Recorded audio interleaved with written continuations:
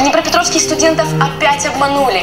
Студенты Национальной металлургической академии Украины в Днепропетровске а-а-а закончилось хэппи-эндом. Zabeba News в эфире. Добрый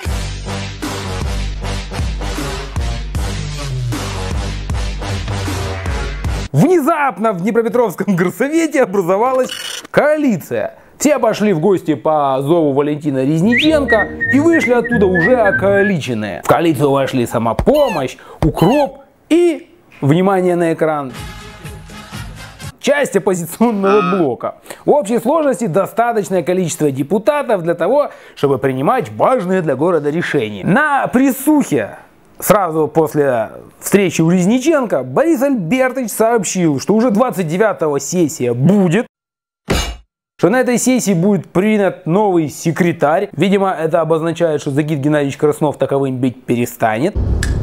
И все заживем бурно и счастливо. Буквально накануне этих ярких событий Забеба здорово прокатила баскетбольным мячом по Борису Альбертовичу. Ну, мол, с баскетболистами разговаривать хочет, а с прессой не очень. Мы же не знали, что Борис Альбертович по результатам аудита знает, куда подевалось имущество и все остальное. Именно таким тезисом Борис Альбертович урезонивает своих политических оппонентов. Но есть одно но. Вызывает живой интерес, почему результаты этого аудита не придаются огласке. И не получается ли это случайно каким-нибудь соучастием или даже сокрытием. Кошелек, какой кошелек?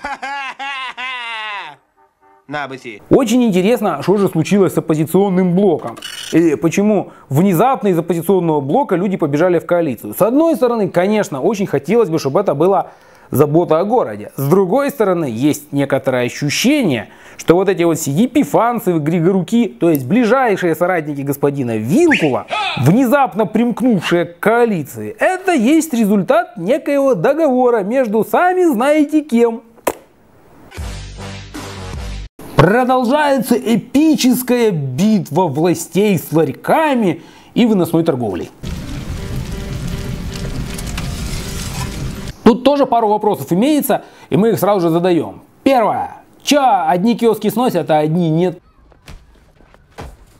И второй вопрос заключается в том, что, по-моему, наша новая патрульная полиция уже крепко подустала сворачивать этих напольных торгашей и сдавать их старой милиции, которая их благополучно разворачивает обратно. Но тут уже сколько лет эти столы тут стоят. Я еще в тюрьме сидел, когда эти столы стоят. Активисты подключились к развлекухе и тоже эмулируют работу ларечников. Вначале всякого мусора на площади Старовокзальной, бывшей Островского, накупят, а потом перебарыживают этим возле стен милиции. Фан такой фан. А где киоск? Стране ос. Где? Генеральный конструктор КБ Южный Александр Дегтярев внезапно оказался на больничном. Ничего не напоминает история.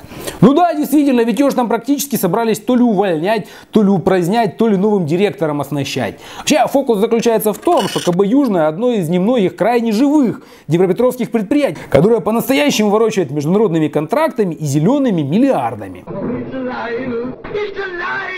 Там теперь будет якобы новый директор, и по слухам этот новый директор какой-то комбат из какого-то народного фронта. А мы так-то ничего не знаем, только слухи.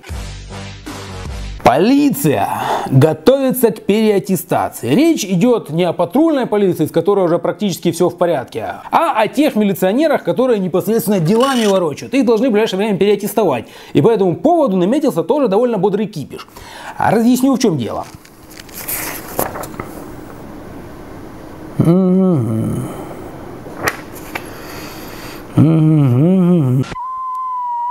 80% рядового состава проходит эту переаттестацию легко, а 20% руководящего состава едва-едва пролазит. А вот самый главный милиционер, господин Репешка, уже решает логические задачки в рамках подготовки, а на полиграф садиться не сильно горит желанием.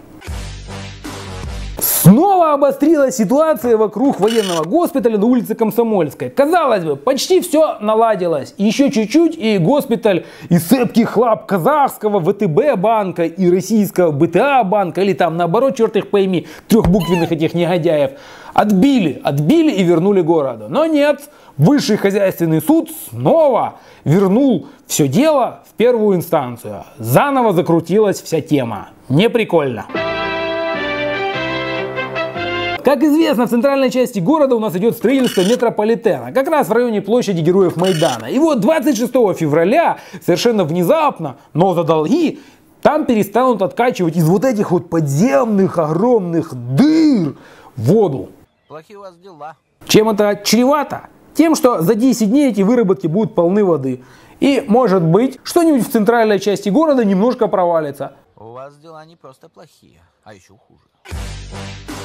Хороших новостей на этой неделе три. Во-первых, Днепропетровск присоединился к системе e-петиций. Раз. Это значит, что теперь любой горожанин может сгенерить какую-нибудь инициативу, за нее проголосуют люди, и горсовет должен будет ее рассмотреть. Во-вторых, жирная точка поставлена в теме переименований. Все, коммунистических названий больше нет. Это прекрасно. Два. И в-третьих, на рубль подешевел проезд до Сухачевки. Это благодаря конкуренции между переводчиками на этом маршруте. Чем больше, тем лучше. На сегодня все. В следующем выпуске мы разыграем охапку ценных призов. Подписаться есть резон прямо сейчас. Ну и, конечно же, поставить лайк.